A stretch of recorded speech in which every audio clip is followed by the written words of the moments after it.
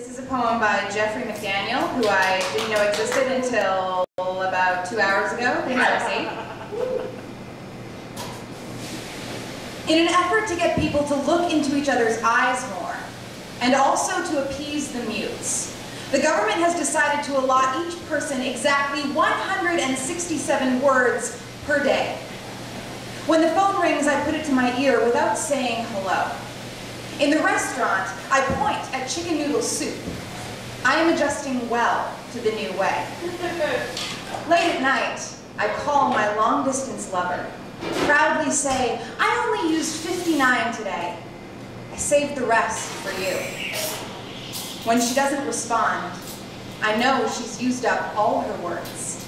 So I slowly whisper, I love you, 32 and a third times.